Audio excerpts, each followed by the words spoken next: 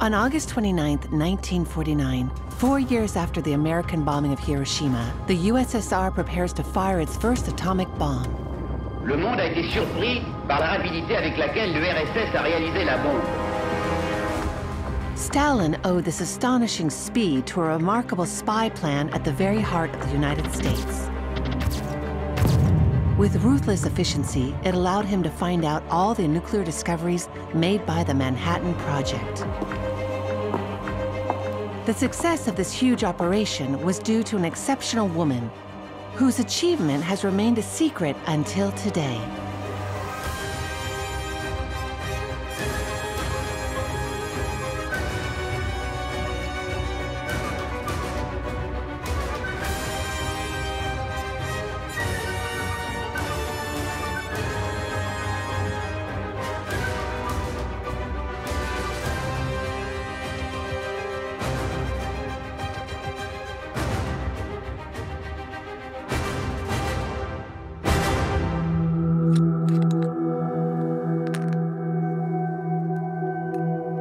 Secrets de la bombe américaine, c'est moi qui les ai livrés à mon pays. Et le plus incroyable, c'est que je ne les ai pas volés, mais je me les suis fait donner. C'est mon histoire et je peux la raconter en détail, au risque de mettre en cause des personnalités célèbres. Mon histoire a rejoint la grande histoire en octobre 1941, en pleine guerre mondiale. On June 22, 1941, Hitler opened his eastern borders and three million German soldiers invaded Russian territory with an aim to annihilate the Red Army. Three months later, the Germans were at the gates of Moscow.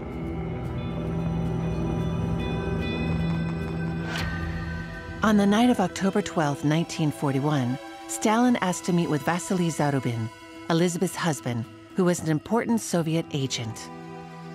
Stalin told him to leave for the United States immediately on a mission with his wife. Отец неоднократно рассказывал о том, что он встречался со Сталином.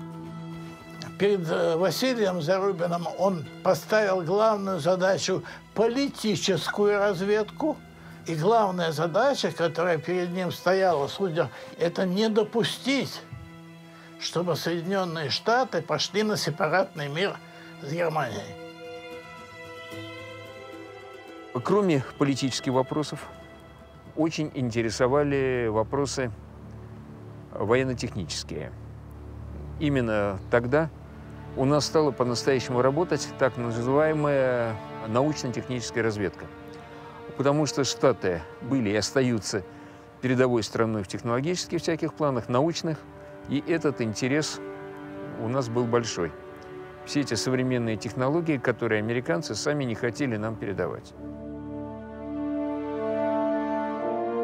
И во время встречи э, моего отца со Сталином Сталин сказал одну фразу. Он сказал, чтобы надо беречь, берегите вашу жену. Так что он знал о Елизавете Зарубиной.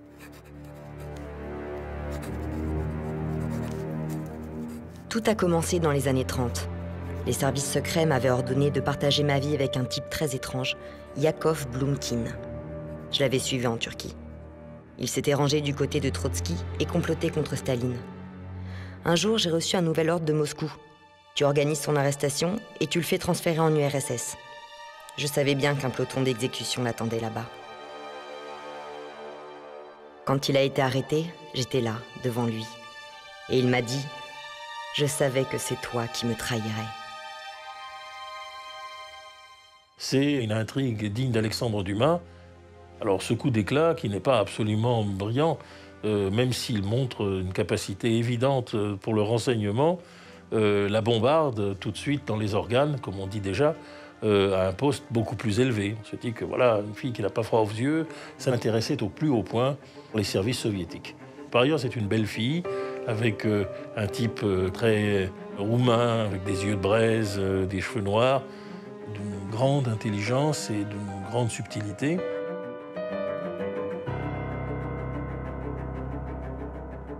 J'avais déjà tourné la page Blumkin et j'avais fait une demande pour revenir en Europe. Moscou m'a envoyé au Danemark auprès d'un de nos agents déjà très réputés. Copenhague reste l'un de mes plus beaux souvenirs grâce à cet homme, Vassili Zaroubine Celui qui allait devenir mon mari et l'homme de ma vie.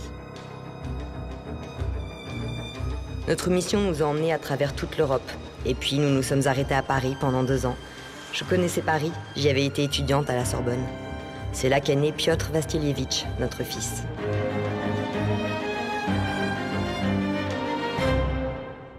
Вот эти два человека, мой отец и моя мать, Они были очень разными людьми, совершенно разными людьми, и тем не менее они великолепно дополняли друг друга. Он был энергичный, боевой, смелый человек, но общая культура у матери была несравненно выше. Elizabeth and her husband arrived in Germany and witnessed the terrifying rise of Nazism and anti Semitism. Elizabeth was a committed and militant Jew, but she didn't run from this horrific storm of anti Jewish persecution. Instead, she risked her life to create networks and to lay down the foundations of her recruitment work.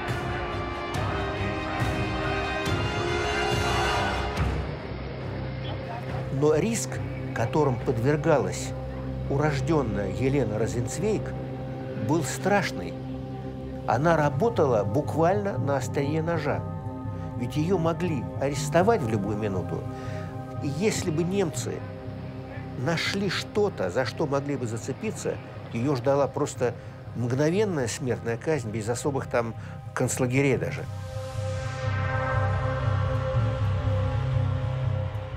La peur était là, bien sûr, omniprésente, mais je devais rester pour tous ces gens, pour les aider à fuir cette barbarie.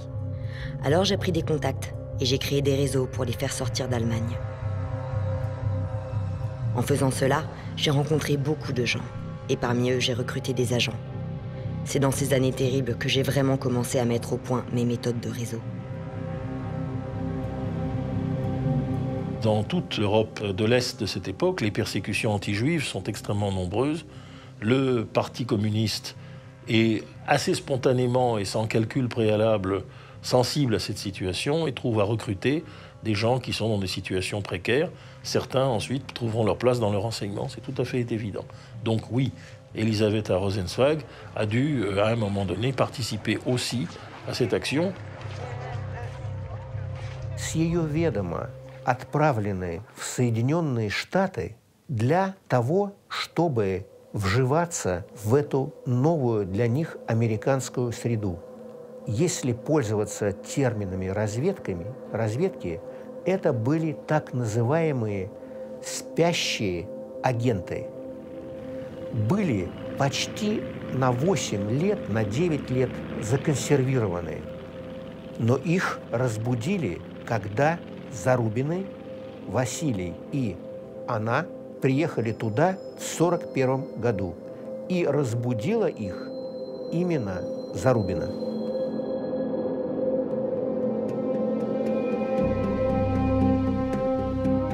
Je suis allée en Amérique pour la première fois en 1936.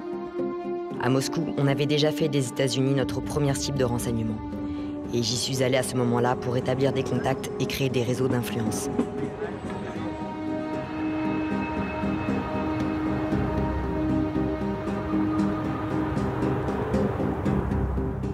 J'ai alors traversé toute l'Amérique d'est en ouest et du nord au sud et je me suis immergée dans la vraie vie américaine.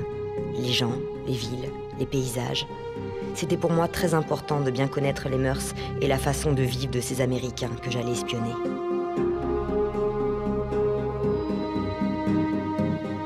Mon voyage avait aussi un autre objectif, approcher des personnalités célèbres et très influentes et créer avec elles une relation de confiance.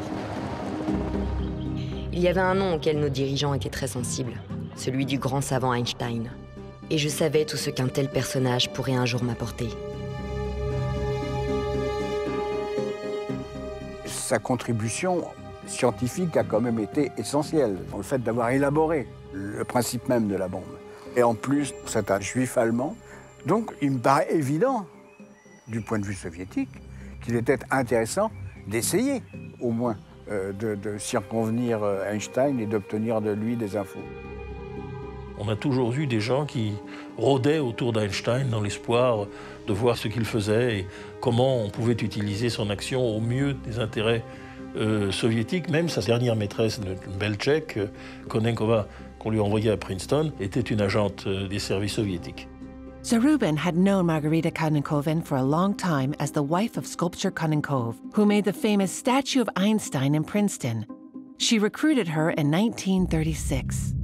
Эйнштейн был в нее влюблен. И однажды Эйнштейн сказал ей, что он на пороге великого открытия. Маргарита сообщила об этом э, Лизе. И Лиза попросила, а может быть он тебе расскажет, что это за открытие? Margarita m'a répondu qu'elle n'y comprenait rien. Alors je lui ai dit, retourne quand même le voir et interroge-le de nouveau. Je suis sûre que lui saura trouver un moyen de te faire comprendre. Elle est retournée voir Einstein et lui a dessiné des esquisses avec des explications bien placées. Mais quand il lui a tendu les feuilles avec les croquis, elle les a tout bonnement refusées en disant ⁇ Non, je n'en veux pas. À quoi cela pourrait-il me servir ?⁇ И она обладала блестящей памятью. И отдав листки Эйнштейну, она запомнила все изображения. И при встрече с Елизаветой она по памяти взяла и все это нарисовала. И попыталась объяснить, что говорил ей наш добрый старик Эйнштейн. On January 6, 1939, a news item upset the scientific world. Two German scholars, Otto Hahn and Fritz Strassmann, published an article in which they demonstrated the possibility of splitting uranium. Nazi Germany was moving towards nuclear weaponry. Leo Szilard, a Hungarian physicist of Jewish origin who immigrated to the USA, was the first to react to this article. He had been thinking about fission and the possibility of a nuclear weapon for a very long time. And so he understood the implications as well as probably anyone. He wanted to warn the President of the United States about this discovery, but he recognized that he didn't have any name recognition, and so he was in no position to approach the President. So he went to Albert Einstein. Einstein, of course, was, was world famous at the time, just as he is today. And he convinced Einstein to co author a letter with him and they sent it to the President of the United States. This letter is dated August 2, 1939. In his response, Roosevelt informs of his decision to form a committee to study the use of uranium. It's the first step of the future American atomic program. That's how the Manhattan Project got its start. It wasn't known as the Manhattan Project at the time. Uh, there was simply a committee known as the Uranium Advisory Committee, which handled the affairs of this research. Uh, but the Manhattan Project would take several more years to, to come into existence. La commission d'études qu'il nomme est composée de militaires qui ne croient évidemment pas aux armes nouvelles parce que ça les mettrait au chômage. Il y a un général qui dit dans une réunion à Einstein, vous savez, euh, les guerres se gagnent par le moral supérieur des combattants. Et Einstein s'impatiente, il dit, je me demande ce que je fais ici, et surtout je me demande à quoi servent les impôts que je paye, si vous avez des idées pareilles. Bon, je laisse euh, cette préhistoire de l'arme nucléaire, mais elle est intéressante par son côté artisanal et non délibéré, même dans un pays qui, comme les États-Unis, dispose maintenant de l'essentiel des forces intellectuelles pour bâtir cette arme. Nous avons quitté Moscou en 41. Je me rappelle très bien de cette nuit-là. C'était celle du 13 octobre. Vassili est rentré de son entretien avec Staline et il m'a dit Dans deux jours, nous partons pour les États-Unis. Nous avons quitté notre patrie avec la pensée que peut-être nous ne la reverrions jamais. Et pourtant, j'étais remplie d'énergie et d'enthousiasme. Nous ne parlions pas encore de bombes atomiques, mais je pressentais que cette mission allait me permettre d'agir sur l'histoire. Во время войны проехать в Америку было непросто. Например, мы ехали следующим образом. Сперва мы на поезде э, ехали в Казахстан, в Алмата. Оттуда мы на небольшом самолете, кстати, немецкого производства, летели с, с посадками через весь Китай в Гонконг. И, а потом прилетели в Манилу, на Филиппины. Там мы ждали некоторое время прибытия американского лайнера, парохода, которым мы пересекали Тихий океан. Кстати, когда наш пароход находился в океане, японцы напали на Соединенные Штаты в Перл-Харборе. И наш гражданский пароход оказался в зоне боевых действий. December 7, 1941, Japan's surprise attack on Pearl Harbor suddenly changed history. The United States, which had until then been ambiguously neutral, immediately joined in the war. Roosevelt's Uranium Advisory Committee, who had been seen as apathetic, now took on a new sense of purpose. L'acharnement mis par les deux belligérants japonais et allemands convainc Roosevelt qu'une véritable course de vitesse est engagée et les Américains vont commencer à mettre des ressources importantes, très importantes même, dans la réalisation d'une bombe atomique. The Manhattan Project really was an enormous national effort. The project employed nearly 130,000 people. The thing is, you're not going to have an atomic bomb if you don't have enriched uranium or plutonium to put in it. And so many of the people involved in the project were construction workers. They were building some of the largest buildings ever erected before, specifically Oak Ridge, Tennessee. And the main mission at the time was to enrich uranium.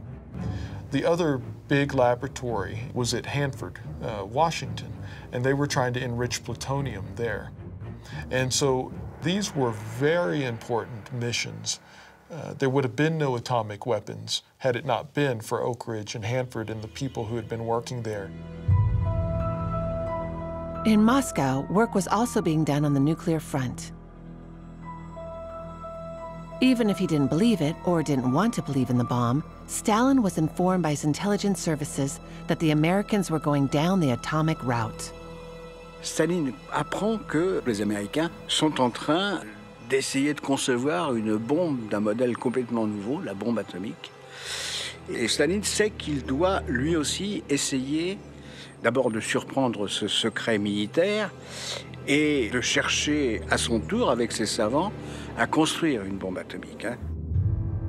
The Soviets had really good scientists, but the industrialized, the western portion of that country was decimated during World War II. In September 1942, Stalin assigned the implementation of the atomic plan to Lavrentiy Beria, Chief of Internal and External Security for the USSR. Le fait que Beria est directement en charge du problème signifie que la force sur laquelle tout repose, au départ au moins, c'est euh, les capacités d'espionnage aux États-Unis même. Работа по ядерному проекту э, получила кодовое название в советской разведке «Операция «Энормос» или «Проект «Энормос», э, что переводится как там, грандиозное, величественное, что-то вот такое, в общем, серьезное.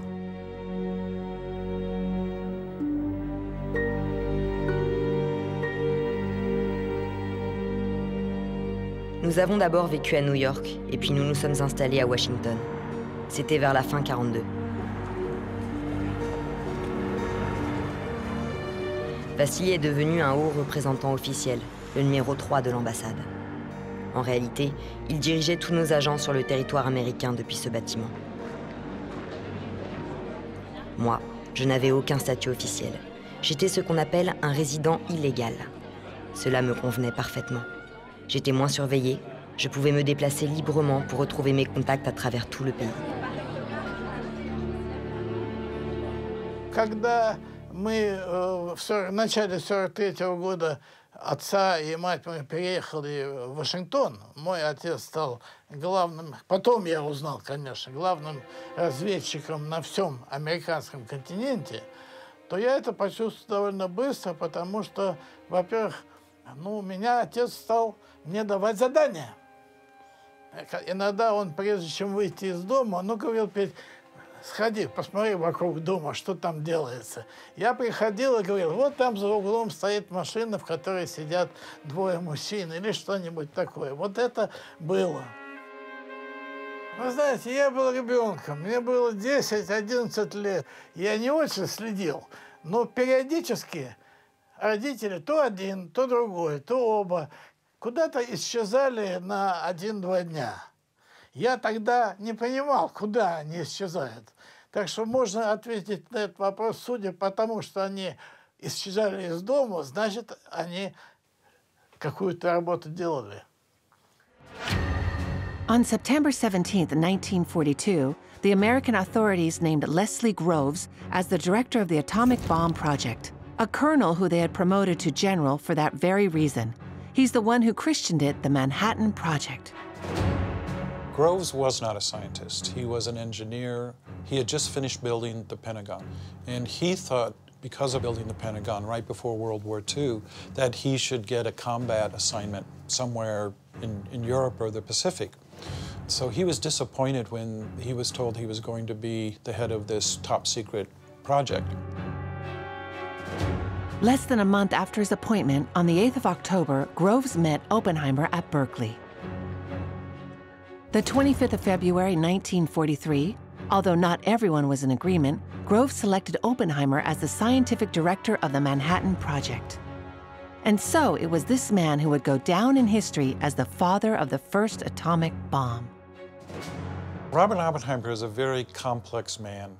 His parents were German immigrants, but he was born in New York City, so he was a U.S. citizen. Um, it was known early on that he was brilliant. Um, and he went to the ethical culture school in New York City. And there were some times that the teachers sent him to the library because he knew more than the teacher did. He went through Harvard University in three years as an undergraduate, and so um, he was offered positions around the United States, but he took the position at University of Berkeley to do the works on the cyclotron. And so that kind of brought then nuclear physics west because he said for physics it was a desert, there was nothing going on there. Groves and Oppenheimer, the soldier and the scientist the mythical pair behind the American atomic journey. Two very different characters who actually form the perfect team to drive forward this atomic project. I think why he chose Oppenheimer, there were a couple reasons. One is because he was not a scientist, Oppenheimer was able to explain in non-scientific terms what the Manhattan Project was about. The other reason was because Oppenheimer was young, and hungry for fame. There were other more senior scientific physicists who could have been picked, but Groves said, I want somebody who is hungry, who will go do the hard work seven days a week, as many hours as they can, not to rest and say, you know, I already have a Nobel Prize. I wanted somebody who would work really hard, and he saw that Oppenheimer was that driven. The first mission that Groves assigned to Oppenheimer was to choose and recruit other scientists. It was a fantastic challenge. Oppenheimer became a sort of scientific coach, in charge of the most extraordinary team of scientists the world had ever seen. Oppenheimer was able, first of all, to recruit scientific talent from around the country. He would go to somebody and say, We're working on this top secret project. I can't tell you what it is, but if you sign up for this, then you'll come to a very beautiful part of the United States and you will work on a very important war effort. Oppenheimer didn't specifically recruit all of them. He spent his time recruiting the leadership of the laboratory. People like Robert Bacher, who I mentioned, trying to bring in the Hans Bethes and the Enrico Fermis of the world. And of course, they all had graduate students working for them. And they brought in their graduate students and who they trusted, who they liked, who they knew were competent. It was just incredibly uh, rich collection of, of scientific talent. J'avais très vite compris que la cible à viser, c'était les savants. Le plan Manhattan était une gigantesque machine et il évoluait comme un animal monstrueux. Moi, j'agis comme les grands prédateurs. Ils attaquent toujours à la tête. Et la tête de Manhattan, c'était cette réunion de savants. J'avais eu les contacts en 36. Je savais comment les atteindre. J'avais toutes les clés. C'était ma mission. Je ne devais pas échouer. Dans son premier voyage en 36, visitant la côte ouest, elle est devenue l'amie de la femme d'Oppenheimer, puisque la femme d'Oppenheimer était une militante communiste ouverte, Et elles distribuaient des tracts et prenaient position, participaient aux élections. Et elles ont sympathisé tout naturellement. Она очень помогала, скажем так, Лизе, с которой э, была в блестящих дружеских отношениях, ладить, помогать своему мужу. Oppenheimer was recruited by Groves despite strong hesitation due to his political past. But the issue of his real feelings toward communism remained a shadow over him being selected as head of the atomic program. During the Great Depression, Oppenheimer then became politicized and started supporting left-wing causes. Last reason why in the 30s people at the universities around the country supported communism was as this rising tide of fascism and Nazism was sweeping through Europe, it seemed the only people who were opposing that were people connected with the communists. So he became then radicalized, politicized, and before World War II, the FBI had Robert Oppenheimer on their custodial detention list. Et éclate la bombe du pacte germano-soviétique. Et là, tous les témoignages le montrent, Oppenheimer a rompu avec eux. Lorsqu'il est désigné par Leslie Groves, euh, il n'était plus intéressé par les soviétiques et par le communisme.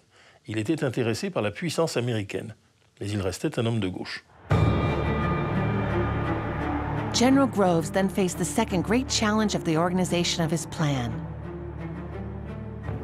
He'd have to assemble under one roof all the scientists he recruited, who were scattered throughout universities all over the United States. There were scientists at, at, uh, scattered around the country at the different universities. And for them to communicate with each other, they couldn't just pick up the phone. They had to write it out. They gave it to a courier who put it in his briefcase that was handcuffed to him, and then that courier took a train across the country. So it had to have a central laboratory. The requirements for the weapons design laboratory were that it had to be remote, the land had to be relatively easy to acquire, uh, it had to be defensible, it had to be far inland. They were worried about commando raids, you know, commandos being landed on submarines. Uh, they thought that things near the coastline were much more susceptible to that. And there, there are some wide open areas which could be used for uh, high explosives tests and, and things like that. Grove sent several officers to look for an appropriate location, but none of them came back with a satisfactory suggestion. So Oppenheimer invited General Groves to accompany him on an exploration of the magnificent scenery in New Mexico and quickly persuaded him that this would be the ideal location. Oppenheimer had come to New Mexico as a young man. He had been sick for a year. He was sent to New Mexico to kind of regain his health, the kind of the final month of his convalescence. He came to northern New Mexico and fell in love with northern New Mexico. Los Alamos was selected by Robert Oppenheimer. It was the ideal location, and uh, General Groves uh, approved the selection. The incredible logistics behind the Manhattan Project would now invade the stunning Western backdrop.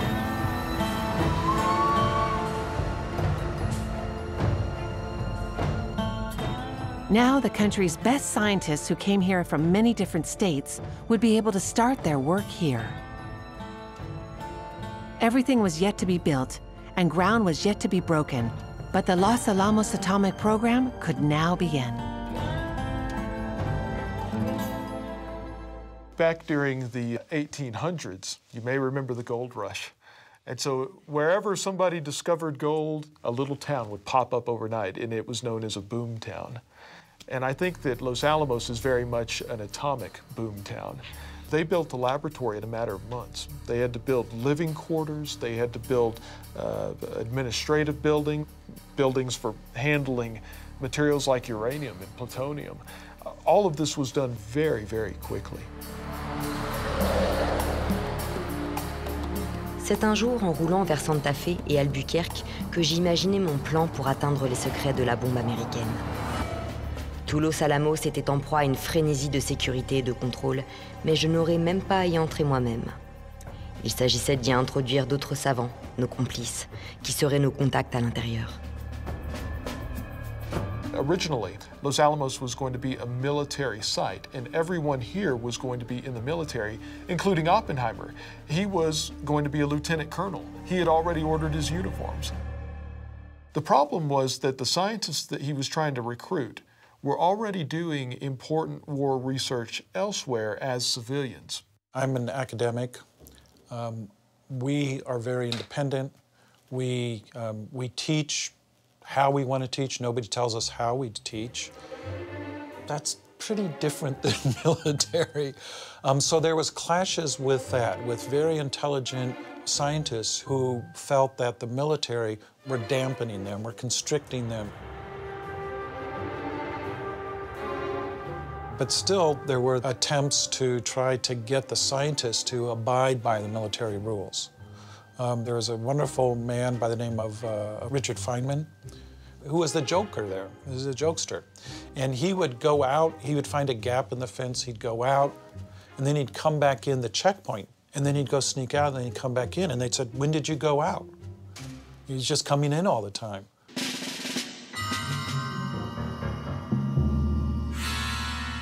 This strained relationship between the military and the scientists in Los Alamos shows the human side of the project.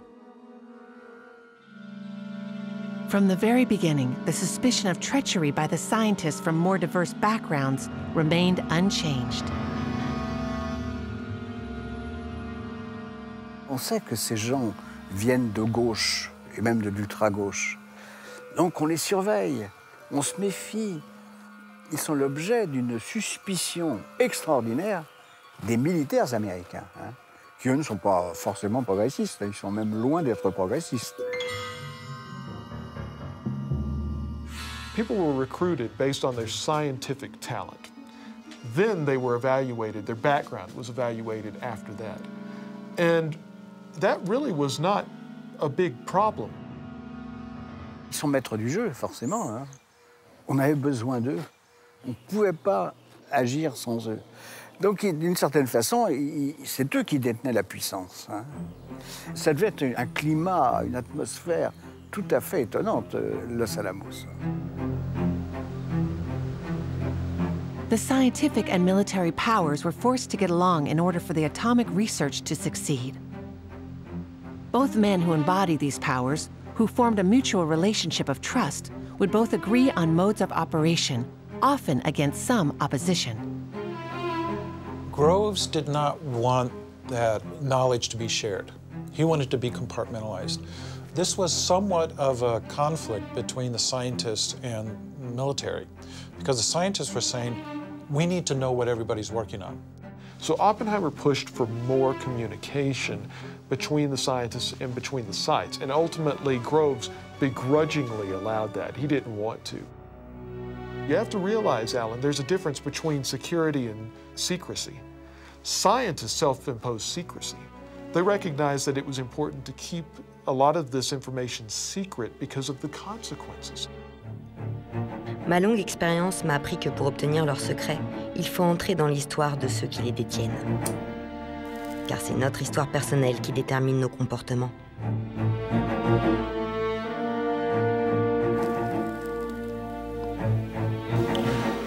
La plus grande partie des savants qui vivaient dans ces maisons en bois, ici à Los Alamos, étaient des immigrés juifs venus d'Europe, chassés par l'antisémitisme. Leur histoire, je la connaissais bien. Je l'avais vécue moi-même en Allemagne et j'en avais même rencontré certains que j'avais aidés à fuir. Je pense qu'il n'y aurait certainement pas de bombe atomique si une bonne partie de ces gens qui étaient là n'étaient pas des réfugiés de l'Europe occupée et qu'ils n'avaient pas fait l'expérience directe euh, du mal absolu que représentait Hitler. For most of the nuclear physicists, the specter of Nazis getting the bomb first motivated them to work very hard. Oppenheimer had family in Germany that were killed. Um, Enrico Fermi had to flee Italy because his wife was Jewish. I mean, this was very real, and it was very personal for some of the physicists. The scientific research carried out in Los Alamos was unique, but often terrifying for the scientists, As for the first time in history, scientists were working on the development of a weapon that could destroy all of humanity. Which scientists wouldn't question, deep down, their role in this apocalyptic project? Les savants sont à la fois euh, emportés par leur travail, parce qu'ils sont à la veille de découvrir des choses formidables, inquiétantes mais formidables. En même temps, ils prennent conscience de s'aventurer dans un domaine extrêmement dangereux. Ce sont des cas de conscience extraordinaires qu'ont dû vivre ces savants de Los Alamos. À un moment donné, ils ont dû avoir l'impression d'avoir eu droit de vie et de mort sur l'humanité. Ça, c'est terrible. They knew what they were doing. Nobody wanted to drop a nuclear weapon on a city, but they recognized that if they did, it might more quickly end the most horrific conflict in the history of mankind. So it was balancing these different thoughts. Oppenheimer himself is a great example. I think that Oppenheimer would have been happier if nuclear weapons were just a physical impossibility. But they were a possibility. And he recognized what atomic weapons would do. And I think that it really played on his conscience that he had brought this type of technology into the world. Sometimes his face looks really tortured and troubled and, and or somewhere else. I mean, it's just it's studying the photographs of him. It's like, what's going on behind that face of his? Because it, it does show on his face that some things are troubling to him or, or, or even tortured. Dès la première fois où je l'ai vu, je l'ai lu dans ses yeux. Tous ses combats intérieurs s'y reflétaient comme dans un miroir. Et je me disais, un tel homme, même avec son génie, est vulnérable. Dans le camp retranché de Los Alamos, nous savions qu'une vie quotidienne s'installait. Une vraie société autonome avec ses rites communautaires. Mais à l'extérieur, le monde continuait son existence. L'histoire poursuivait sa route tumultueuse. La faille était là, derrière cet isolement. Leurs interrogations sur la bombe atomique devaient ramener les savants à une actualité de plus en plus pressante. Dans la confiance que j'avais su créer, il me suffisait d'être au bon endroit, au bon moment.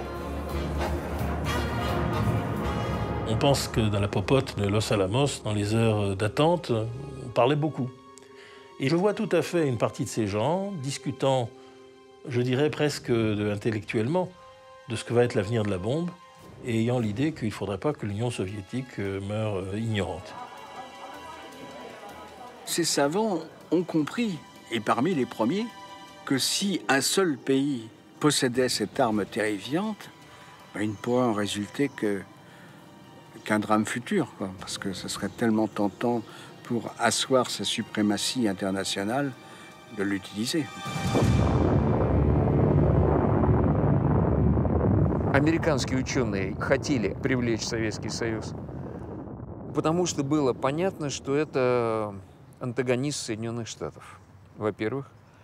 Во-вторых, было понятно, что это государство, которое имеет возможности создания своего противовеса. То есть другие бы вряд ли стали выступать, создавать такой противовес против Соединенных Штатов. Советский Союз мог, имел возможности и материальные, и интеллектуальные, и идеологические. Поэтому другого выхода не было. И à un moment donné, certains ont dû, ça c'est mon hypothèse personnelle, décider de transmettre un certain nombre de choses qu'ils savaient à des gens qui eux-mêmes seraient en mesure de les faire sortir. Parce que je ne vois pas, euh, sans des complicités importantes, une telle avalanche de papier et d'informations qui vont inonder littéralement les laboratoires euh, soviétiques.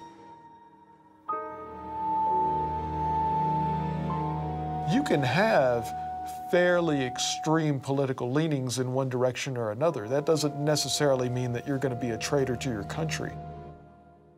I feel he, Oppenheimer was a loyal U.S. citizen, and he was approached indirectly to give some secrets about Los Alamos to the Soviets. And he said he didn't think that was a proper avenue. That, I mean, if, if, if that should happen, it should come from people higher than him in the government. It should come from an exchange between the US government and the Soviet government, who were our allies. So I feel that once the United States got into the war, once he became part of the Manhattan Project, he was a loyal U.S. citizen and would not have leaked information. Признать всех, которые откровенно работали на нас из американских ученых, мы опять-таки по этическим соображениям не можем. Le cas de Léo Szilard m'avait fait réfléchir. Il avait manifesté trop ouvertement sa sympathie pour l'URSS et il avait été interdit à Los Alamos. Il ne fallait pas que cela arrive aux autres savants et surtout pas à Oppenheimer. J'ai souvent abordé la question chez lui. Le drame d'Oppenheimer, c'était sa fidélité. Fidélité à son pays, mais aussi fidélité à ses idées progressistes. On devait le protéger contre lui-même. Aussi, je ne l'ai jamais poussé à mettre en avant ses opinions. У нее были свои задачи. А свои задачи, в частности, наоборот, того же Оппенгеймера попросить меньше выражать симпатии к тому же Советскому Союзу, к тому же прогрессивному движению, то есть вести себя потише в этом плане. Не будем забывать, что когда Зарубина обратилась с просьбой к Оппенгеймеру принять к себе на работу нескольких немцев-антифашистов, которые сбежали из Германии в США, в Англию, в другие страны, он согласился на это, и они были приняты. И в числе нескольких человек, которые были приняты на работу над атомной бомбой, был тот человек Клаус Фукс – Klaus Fuchs was a real soldier, and his pro communist activism was publicly known. Arrested in the United States in 1950, he spent nine years in American prison. Once free, he returned to East Germany, where he was welcomed back as a national hero and received a military medal. À l'exemple de Fuchs, j'ai fait entrer d'autres savants complices. Ils joueront plus tard un rôle de fusible pour préserver Oppenheimer et son équipe. Mais ici, ce sont eux, comme Pontecorvo ou Hall, qui sans scrupules vont assurer la transmission des informations. Ted Hall was just a teenage kid. He graduated from Harvard at 18 years old. He, he came to work at Los Alamos. He did critical mass studies. Basically, how much material do you need to make an atomic bomb work? And so he was involved in both the Little Boy and the Fat Man programs. So he was in a position to get lots of very sensitive information out. Теодором Холлом, известным под кличкой Млад, передавал документы пачками, я подчеркиваю, пачками, прямо из Лос-Аламоса через советских агентов –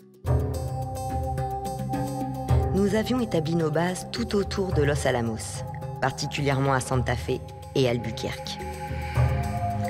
Beaucoup de nos agents y étaient installés. D'ailleurs, ces villes étaient devenues de véritables nids d'espions de toute origine et de toute nationalité. À Santa Fe, nous avions même racheté un fast-food qui est devenu notre relais principal. Nos savants complices, comme Fuchs ou Hall, sortaient les documents de Los Alamos et le remettait à des agents que j'avais appelés des messagers. Ceux-ci prenaient le train à la gare d'Albuquerque pour amener les documents jusqu'à Washington, d'où ils étaient expédiés jusqu'à Moscou par valise diplomatique. Le système était parfaitement verrouillé. Et en plus, on doublait les filières de transmission. Chacun ignorant le rôle des autres acteurs de la chaîne. У нее было, она поддерживала связь с 18 агентами. Я думаю, что ни один из них не должен был знать даже ее настоящего имени. То есть там уже была отработана своя система, была налажена связь. Вот эти замечательные люди, Петр и Леонтина Коэн и Крогеры, они осуществляли связь принимали эти документы.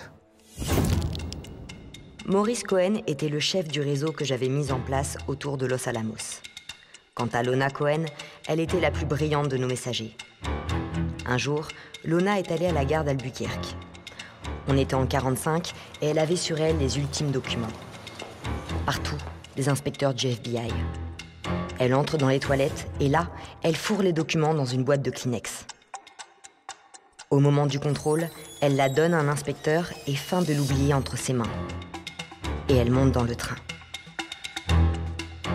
Lona m'a confié qu'elle n'avait pas réfléchi à ce qu'elle faisait, mais qu'une voix intérieure lui avait affirmé qu'il lui ramènerait la boîte de Kleenex. C'est ce qu'il a fait.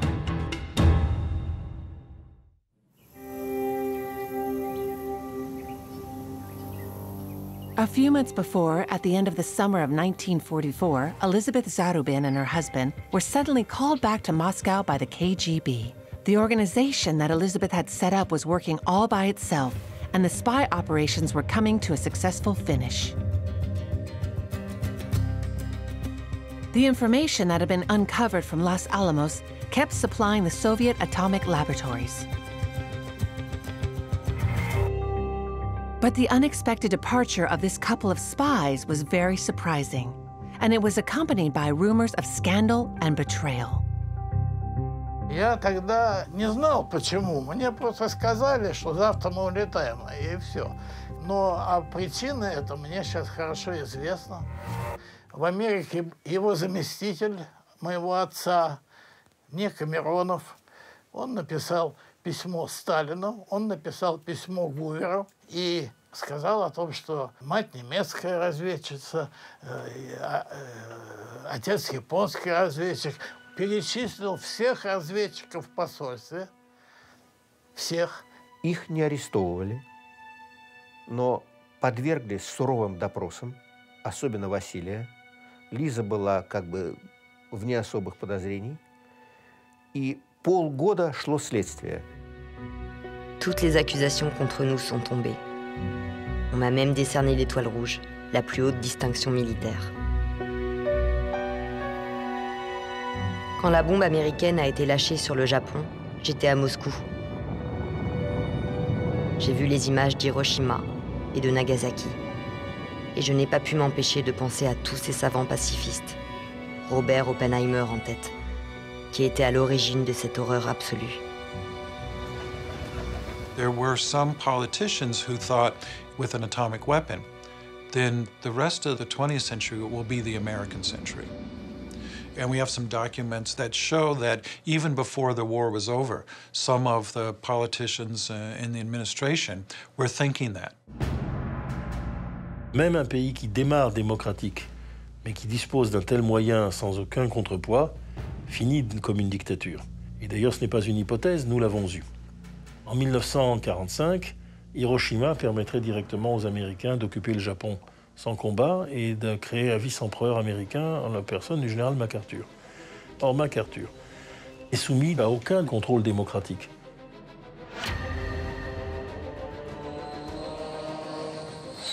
The explosion of the Soviet bomb in Kazakhstan led to a new change in historical events. The United States were no longer the only ones to detonate the ultimate weapon. The USSR had now reached the rank of a superpower and would now be treated as a United States equal. People in the United States were shocked when it was discovered that the Soviets had a nuclear weapon. People in Washington, policymakers, they generally believed that the Soviets were anywhere from two years to 10 years behind. And I think most people were closer to the two year mark. But in the August of 1949, no one was expecting that to. The impasse that now exists regarding the international control of atomic energy must be broken. And the Assembly must face this question squarely for the sake of mankind and for the peace of the world.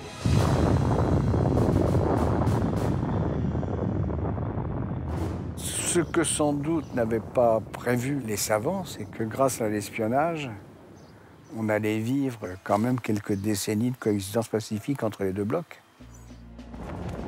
В итоге был создан вот этот так называемый двухполярный мир, который держался, слава богу, до 91 года и позволял обеспечить на Земле больше, гораздо больше стабильности, чем сегодня. За это спасибо и разведке, и американским ученым, и нашим, которые сделали бомбу. Le directeur des services qui m'a recruté m'a dit un jour L'anonymat est la meilleure récompense pour un agent secret. Mais pour moi, la vraie récompense, c'est que je sais bien, moi, ce que j'ai fait pour que l'URSS ait la bombe atomique. Она была выброшена из разведки уже после войны в 40. Она никогда не жаловалась и никогда не простила этого, этой службе. Смерть Зарубиной была неожиданной. Она, как я думаю, могла бы жить и дальше, но случилось так, что она выходя из автобуса, упала, была сломана нога, была операция, как я слышал. Я не уверен, так ли это.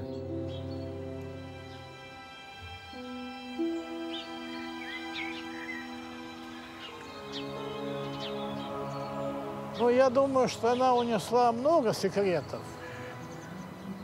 На мой взгляд, люди, которые выбирают профессию разведчика, особенно нелегального разведчика, должны быть готовы к тому, что много-много лет о них будет очень мало сказано. В первую очередь, это те разведчики, которые никогда не были пойманы. Вот к таким относится и она не одна такая.